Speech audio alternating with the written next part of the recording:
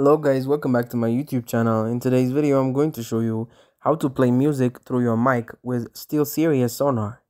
So I have GG open here and I'm going to go into Sonar and I already have Sonar set up and running. So I already have my audio going to the separate VADs.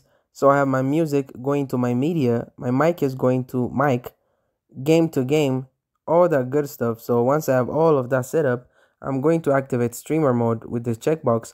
If it's your first time loading up streamer mode, it's going to give you some onboarding and then these settings on the left hand side will open. If it's not your first time, you can just click on this gear to open master settings.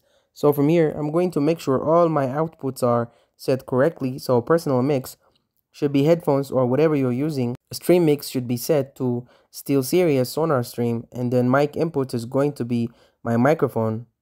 So you can use these buttons here to select which goes to your headphones or personal mix and which goes to your stream mix. So I already have media set up, so it's going to both. I have my mic set up, so it's going to my stream mix, but not my headphones. Otherwise, it would echo and I would hear myself. You can click this icon to put anything to your stream mix or anything to your headphones. I would advise against turning on stream for chat, otherwise your friends will start hearing themselves. But in this case, I have my microphone and I have media going to my stream output, so that's good. So now that this all set up, all I have to do is go into Discord, go into my voice and video settings, and then my input device, I need to switch from my Sonar microphone to the Sonar stream output. Once I have that selected, that's it. There's audio going to the stream mix, and from there, Discord is picking it up as a microphone. You might need to turn off noise cancelling or echo reduction in Discord since that might interfere with the music or whatever else you are playing through it.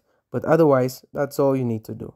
Just set up streamer mode to have your media output to your stream output and then set Discord to use that as a microphone and that's it. Thank you guys for watching this video. If this video was helpful, don't forget to like and subscribe to my YouTube channel.